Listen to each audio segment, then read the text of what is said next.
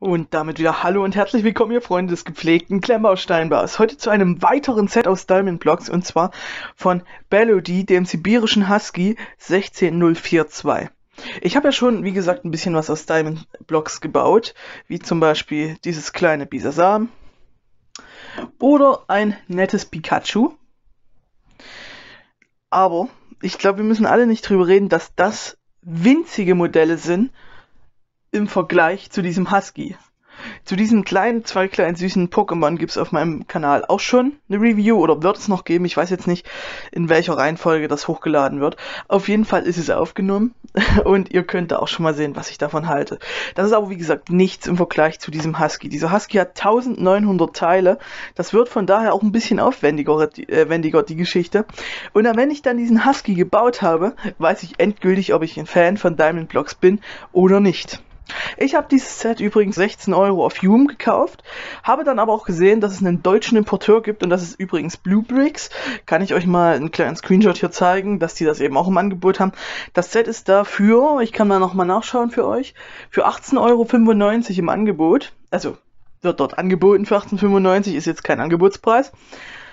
Ähm, das ist ein winzig kleiner Aufschlag fürs Importieren, ganz ehrlich. Und ehe ich es dann von Hume bestellt hätte, hätte ich es dort bestellt, da hätte ich es eher gehabt und hätte auch noch einen guten Ansprechpartner dafür gehabt. Dann würde ich sagen, starte ich einfach mal. Wir bauen das hier zusammen auf. Ich zeige euch alle wichtigen Schritte oder was ich für wichtig erhalte, so ein paar Zwischenschritte und wie es eben zwischenzeitlich aussieht. Wenn ich Probleme habe, sage ich euch das auch.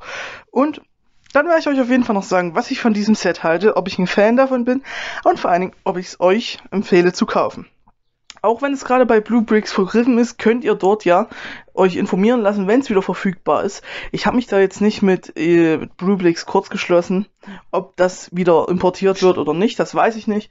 Das seht ihr dann auf jeden Fall. Ähm, ich denke aber, wenn genug Leute informieren, wenn verfügbar dort klicken, dann werden die sich darum kümmern, dass das auch wieder nach Deutschland kommt und werden es auch wieder hier verkaufen.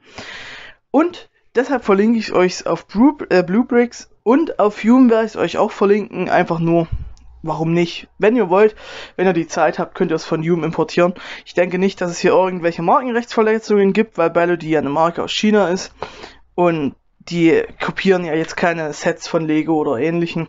Es ist unter 20 Euro oder unter diesen 22 Euro, wo man eben keine Einfuhrsteuer zahlen muss. Da wird es keine Probleme geben, wenn ihr das selber importieren wollt, wenn ihr euch da die Zeit nehmt. Dann könnt ihr es gerne auch auf Hume bestellen. Wie gesagt, ich baue es jetzt auf jeden Fall zusammen und dann sehen wir uns im ersten wichtigen Bauschritt wieder. Wir sehen uns schon mal relativ schnell wieder und zwar nach Bauschritt 8 von, ich glaube, Indie 80. Ich kann nochmal live nachgucken für euch. Es sind tatsächlich 84 Bauschritte. Ähm, nein, ich werde jetzt nicht 10 verschiedene Steps euch zeigen. Keine Angst, sonst wäre das Video wahrscheinlich ungefähr zwei Stunden lang. Auf jeden Fall wollte ich euch schon mal zeigen, wie hier die Füße geregelt sind und der Unterkörper von dem Hund und hier so langsam schon der Schwanz angedeutet wird und einfach mal wieder was zu den Steinen sagen. Also auf jeden Fall finde ich die Steine genauso wie schon bei dem Pikachu und dem, bei, bei dem Bisasam sehr gut. Also die Klemmkraft ist sehr gut. Ich sage da immer eigentlich fast auf Lego-Niveau, beziehungsweise wenn das hier Lego-Steine wären von der Größe und eben nicht Diamond Blocks, dann wäre es einfach Lego. Das ist unglaublich gut. Ähm, man hat ein sehr schönes Gefühl dabei. Die ersten Bauschritte sind wie immer ein bisschen knifflig und ein bisschen rumgefrickelt, weil man da eben irgendwelche Bilder zusammenlegt aus diesen winzigen Steinen, um dann da drüber zu bauen. Und das macht absolut keinen Spaß. Ähm, aber wenn man dann Bauschritt 3 erreicht hat, dann wird das alles besser, dann macht es auch Spaß. Und dann macht es umso mehr Spaß, umso mehr man hier hochschichtet. Weil man baut eigentlich meistens symmetrisch weiter hoch, weiter hoch, weiter hoch. Dann nimmt man es schon mal rum und denkt sich so, wow, ist ja schon ganz schön was geworden. Schon einige Schichten. Und man, man erlebt einfach schön, wie bei eben herkömmlichen Lego, wie man etwas aufbaut und sich manchmal denkt, oh, das ist natürlich cool, jetzt habe ich den Stein dorthin gemacht, wäre ich nie drauf gekommen und schafft dadurch das und das das können diese Diamond Blocks unglaublich gut und eben auch mit einem relativ kleinen geldmäßigen Aufwand. Ich meine, überlegt euch mal 1900 Teile von Lego oder Lego-kompatiblen Sachen. Da greift er tief in die Tasche und das kostet, da kommt er nicht mit 16 Euro weg. Und deshalb hat, hat man hier auf jeden Fall für relativ wenig Geld sehr viel Spaß. Man muss aber aufpassen, dadurch, dass das jetzt natürlich ein größeres Modell ist und man eine relativ äh, lange Seite hier hat von Diamond Blocks, muss man schauen, dass man die alle gut zusammenpresst wirklich und nicht irgendwo Lücken lässt, weil sonst wölbt sich das und das merkt man dann, dass das hier kippelt. Und das ist relativ fest. Wenn man da aber jetzt nicht richtig aufpasst, dann kippelt das halt richtig bap, bap, bap, bap, bap, bap. Wisst ihr, wie ich meine? Ähm, passt da auf jeden Fall mal auf. Wir sehen uns dann bei den nächsten Schritten wieder. Ähm, ich habe auf jeden Fall sehr viel Spaß und im nächsten Schritt sage ich euch, ob das so geblieben ist. So, und wir sind jetzt bei Bauschritt 32. Und falls ihr euch fragt, warum hier so wenig geschehen ist ähm, in den Bauschritten, in den vielen Bauschritten, die wir jetzt übersprungen haben, das ist natürlich nicht alles, was passiert ist. Ich wollte aber erstmal was dazu sagen und dann haben wir noch was extra gebaut, was wir dann ranbauen, was ich euch dann eben auch nochmal extra zeige. Hier, es ist ein sehr stabiler Bau, kann man sagen. Das ist bisher absolut kein Problem, da geht nichts kaputt, da fällt nichts ab, das hält sehr gut. Ähm, man hat aber am Bau schon ein paar Stellen, die schwierig sind, wo man zum Beispiel sehr viele Dreiecksteile aneinander legt, die auch mit der einen Noppe hier quasi äh, schon wieder in die Luft, also in das Modell rein gucken. Und da legt man Dreiecksteil über Dreiecksteil über Dreiecksteil erstmal hintereinander und dann übereinander. Da ist es sehr oft, dass man dann dadurch aus Versehen das Dreiecksteil unten wieder weghebelt, weil man ja quasi perfekt am Hebel an der Noppe ist und das dann wieder alles weghebelt vom Modell und dann muss man wieder neu anfangen. Das ist ein bisschen schwierig gewesen, aber hier soweit so gut, das hat alles noch Spaß gemacht. Dann haben wir aber etwas, was ein bisschen weniger Spaß gemacht hat und das ist die Konstruktion dieser Beine hier. Die werden jetzt hier rangesetzt, aber bevor ich das ransetze, möchte ich darüber auch noch was erzählen, weil die Beine haben einige Sollbruchstellen. Das ist zum Beispiel hier der Fall, wo es bricht und das ist hier der Fall, wo es sehr gerne abbricht. Wenn man jetzt also immer wieder auf den Bein draufdrückt, draufdrückt, draufdrückt, also die nächste Schicht draufbaut, dann bricht das gerne hier unten auseinander und man muss es wieder zusammensetzen, man muss wieder äh, schauen, wie war das drauf. Im schlimmsten Fall muss man wieder alles neu aufbauen. Deshalb haben die Beine jetzt mal geschlagen, ne? Dieses bisschen hier. 45 Minuten gedauert. Wobei das ganze Teil hier vielleicht um die halbe Stunde gedauert hat. Das ist natürlich schon extrem. Das ist ein bisschen ein Frustfaktor. Ich hoffe, das wird äh, besser und vor allen Dingen, wenn es dann jetzt am Modell dran ist, dass es nicht mehr auseinanderbricht. Wenn nicht, wäre das ein großer, großer Minuspunkt fürs Modell, aber so weit sind wir ja noch nicht. Im Endeffekt setzen wir das jetzt eben dort drauf. Ich kann es jetzt schwierig live machen, aber es würde dann einfach hier vorne quasi drauf gesteckt. Ich kann es jetzt wie gesagt nicht live machen, weil ich ja nur eine Hand habe. Ähm, ich mache es aber auf jeden Fall und dann seht ihr ja sowieso im nächsten Bauschritt, den ich euch zeige, wie das hier vorne aussieht. Ähm, ich hoffe einfach, dass das dann Stabilität bringt, weil wir dann in den nächsten Bauschritten auch schon wieder da drüber drauf bauen. Und ich hoffe, dass das dadurch dann erstmal stabil ist und nicht mehr bricht. Gut, wir sehen uns auf jeden Fall im nächsten Bauschritt.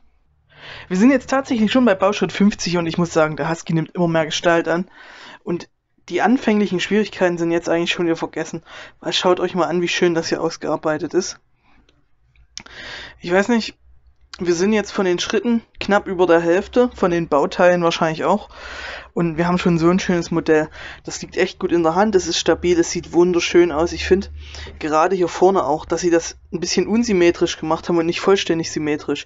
Das zeigt einfach, wie viel Liebe da ins Detail geflossen ist.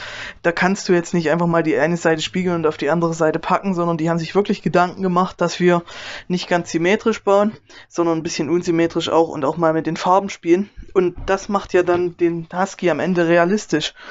Weil alles Realistische ist nie perfekt symmetrisch. Auch wenn das manche Züchter so wollen. Wisst ihr, kleiner Exkurs, wählen Sie dich Züchter. Da müssen die Punkte genau symmetrisch sitzen und genau perfekt aussehen und das Gefieder muss perfekt sein. Das ist einfach nicht natürlich. Und das ist bei den 99% der Tiere sowieso nicht so. Und das ist auch beim Husky nicht so. Und deshalb finde ich es viel schöner so, als wenn hier sturch symmetrisch gebaut wird und es am Ende so unnatürlich aussieht und eben vom Menschen erschaffen aussieht. Und deshalb muss ich sagen, hier ist wirklich Herzblut reingeflossen, hier ist Liebe reingeflossen und das weiß ich zu schätzen. Und ich freue mich sehr darauf, das Modell weiterzubauen. Ich bin jetzt fertig mit Bauschritt 61 und ich muss sagen, das Aussehen von dem Modell macht einiges wieder wett. Weil ich weiß nicht, woran es liegt, an der Qualität der Steine im Normalfall nicht. Also kann ich nur vermuten, dass es an einigen wackeligen Bautechniken liegt, die dort äh, gebaut sind. Und ein paar Fehlern in der Anleitung, oder was heißt Fehlern in der Anleitung? Einer undurchdachten Bauweise in der Anleitung dass ich so viele Schwierigkeiten mit dem Modell hatte, wie ich sie hatte. Das Problem ist, dass man hier vorne äh, auf der Schnauze weiterbaut die ganze Zeit. Man hat hier unten die Platten festgemacht und baut dann die ganze Zeit weiter auf der Schnauze, weiter rüber, rüber, rüber, rüber, rüber, rüber, schichtet auf, Schnauze und dann wieder den Kreis rum. Das hat aber dann das Problem, dass hier nicht geschichtet wurde. Das seht ihr hier bei diesem Übergang von schwarz zu weiß. Das ist eine Linie. Und dadurch, dass das eine Linie ist, ähm, hat man das Problem, dass man die ganze Zeit, wenn man hier vorne festdrückt, die entweder den Hund halt nach vorn kippt, was dann zur Folge hat, dass die Beine abbrechen, oder wenn man hinten hält, dass er nicht nach vorn kippt, wieder hier das Modell auseinanderdrückt und am, man am Ende die Schnauze wieder komplett allein in der Hand hat, vom Körper getrennt. Und das dann wieder draufzusetzen auf die ganzen Noppen ist wirklich ein Graus. Also da fallen einem dann noch mehr Sachen ab, da muss man aufpassen, dass einem nicht noch die Schnauze auseinanderbricht. Und deshalb habe ich jetzt, ich weiß nicht, für fünf oder sechs Bauschritte gerade mindestens eine und eine halbe Stunde gebraucht. Und das hat ein bisschen was versaut von dem Modell, das muss ich ganz ehrlich sagen. Das ist sehr schade, wenn man bedenkt, wie hübsch das Modell ist und wie viel Spaß es bis dahin gemacht hat. Ich hoffe einfach mal, dass es jetzt wieder besser wird. Wahrscheinlich seht ihr jetzt, äh, wenn dann der Kopf geschlossen ist und die ganze Form hier oben zu ist, in ca. 20 Bauschritten den fertigen Hund und dazwischen nicht nochmal eine Einblendung. Aber ich hoffe, dass es jetzt besser läuft, dass diese Probleme jetzt Geschichte sind, nachdem wir hier ein, zwei Mal drüber geschlichtet haben und ich am Ende sagen kann, dass ich das Modell empfehlen kann und nicht drüber meckern muss, weil ich finde das Modell wirklich an und für sich sehr schön. Gut, wir sehen uns auf jeden Fall dann mit dem fertigen Husky. Ah, er ist fertig, er ist fertig und ich freue mich so, dass er fertig ist. Obwohl das schon wieder ein bisschen was über das Modell aussagt, aber dazu kommen wir später. Ich muss sagen, es hat sich echt sehr, sehr lange hingezogen. Da sind Stunden reingeflossen und auch wenn ihr das Modell bauen wollt, würde ich euch sagen, teilt euch das auf mehrere Tage auf und vor allen Dingen holt's euch nur, wenn ihr eine große Toleranzgrenze habt oder eine große Frustrationsgrenze. Weil das Modell macht teilweise echt keinen Spaß beim Bauen. Ich bin ja schon darauf eingegangen, dass es das bei den Füßen gab, dass es das bei der Schnauze gab. Das wird dann, wenn man den Kopf, die Ohren baut, wird das besser, aber es ist trotzdem sehr, sehr schwierig. Und ich muss sagen, ähm, dass da auch ein paar Fehler drin sind, einfach, die nicht sein müssten, die in den Bau dann vermiesen das ist erstmal der Punkt. Es macht vom Bauen her teilweise sehr viel Spaß und es gibt aber halt auch Stellen, die das alles sehr, sehr, sehr vermiesen können. Und deshalb bin ich auch froh, ich habe es fertig und gut ist. Jetzt kommen wir aber zu dem anderen Punkt. Das Modell sieht halt einfach phänomenal aus. Das muss man einfach sagen. Schaut euch doch mal diesen süßen Hund an. Also ich finde ja, gerade wie die Augen gebaut sind, wie, wie die Schnauze gebaut ist, dass diese knuffige Nase ist, dass sie sich bei den Ohren so viele Gedanken gemacht haben, dass sie da auf, Symmet äh, auf Symmetrie verzichtet haben. Sieht einfach sehr, sehr, sehr schön aus. Und ich muss sagen, es ist ein super Hund, es ist ein super Modell von einem Husky, vom Aussehen her. Und da vergisst man einfach auch einige Schwächen vom Bau. Wenn es dann fertig ist, super zum Hinstellen. Aber wie gesagt, nehmt euch Zeit für den Bau, holt euch einen Tee dazu, trinkt da auch mal einen Schluck und regt euch nicht auf. Und wenn ihr keine große Ausdauer habt oder keine große Toleranzgrenze, dann kann ich euch das Modell ehrlich gesagt nicht empfehlen. Sonst, die Anleitung ist echt teilweise sehr schwer zu lesen, das muss man sagen. Wenn man nämlich hier gerade diese Bauschritte hat, wo man sehr viel Schwarz auf Schwarz baut, ähm, da braucht man teilweise echt eine Lupe, um zu unterscheiden. Hat man da jetzt einen Dreieckstein oder hat man da jetzt einen Zweierstein und einen Einerstein? Und ich muss sagen, es ist kein Teiletrenner dabei gewesen, den habe ich noch von den Pokémon-Modellen. Ich habe ihn aber bei diesem Modell mehr denn je gebraucht, sonst wäre ich an diesem Modell verzweifelt. Also ich würde euch auch empfehlen, wenn ihr dieses Modell kauft, schaut, dass ihr irgendwo so einen Diamond Blocks ähm, Brick Trenner oder Brick Separator bekommt. Sonst wird es eine schwierige Nummer, das kann ich euch schon mal so verraten. Ähm, dann hatten wir auch noch fehlerhafte Teile, also Teile, die von der Klemmkraft nicht so toll waren, wieder auseinandergesprungen sind. Das sind relativ wenige. Da hatte ich einen Vierer zum, äh, zum Beispiel dabei. Der gehörte dazu. der war nicht gut. Und dann habe ich auch wirklich fehlerhafte Teile. Also zum Beispiel schaut euch mal diesen einer Brick an. Also das völlig falsch gegossen und gar nicht brauchbar. Und das schlimmste Teil, was wir davon haben, ist ein Vierer Brick. Den muss man sich auch mal anschauen hier. Also der ist halt auch unbrauchbar komplett. Da ist was beim, beim Gießen absolut schief gelaufen. Ähm, kann man nicht verwenden. Das, sind aber, das ist aber eine Ausnahme, muss ich sagen. Ähm, das ist das erste Mal bei Diamond Blocks so, dass ich das erlebt habe. Und es ist im Endeffekt nicht wirklich schlimm, weil wir haben tatsächlich, also ich muss jetzt mal schätzen, ich würde sagen, dass wir so um die 70 bis 80 Ersatzteile haben, was natürlich sehr schön ist und dann diesen Fehler wieder ein bisschen abschwächt. Aber das sind natürlich Sachen, die einen beim Bauen ein bisschen frustrieren können oder stören können, weil man dann nicht weiß, bin ich jetzt zu blöd, das zu bauen oder liegt es am Stein?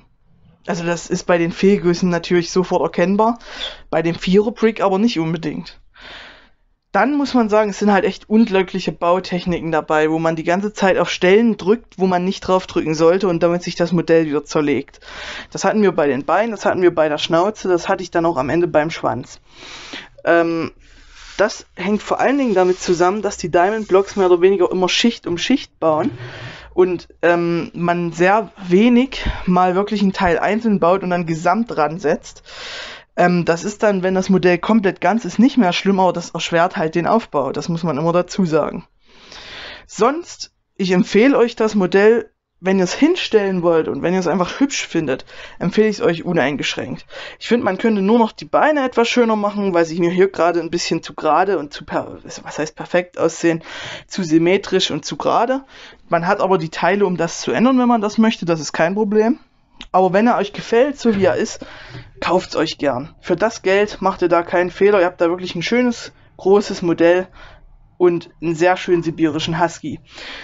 Wenn ihr aber Bauspaß haben wollt, dann muss ich euch sagen, fand ich das sehr heavy. Ähm, da kann ich das nicht unbedingt empfehlen. Ich weiß nicht, ob ich jetzt ein besonders schlechtes Modell hatte, was das angeht, oder ich weiß nicht, ob es ein Montagsmodell war, weil zum Beispiel bei den Pikachus oder bei diesen kleinen Diamond Block Modellen hatte ich solche Probleme noch nie. Aber gut, das ist natürlich auch eine wesentlich einfache Konstruktion und eine wenig, äh, wesentlich kleinere Teileanzahl.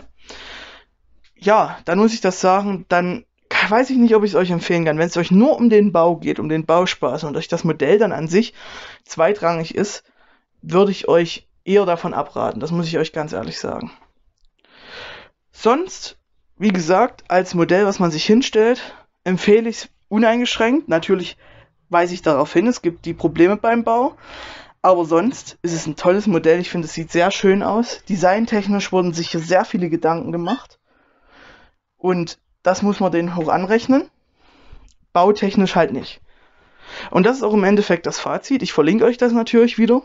Wenn euch das Video gefallen hat, könnt ihr sehr, sehr gerne einen Daumen nach oben da lassen und auch den Kanal abonnieren für weiteren Diamond Block Content oder auch generell Klemmbaustein Content.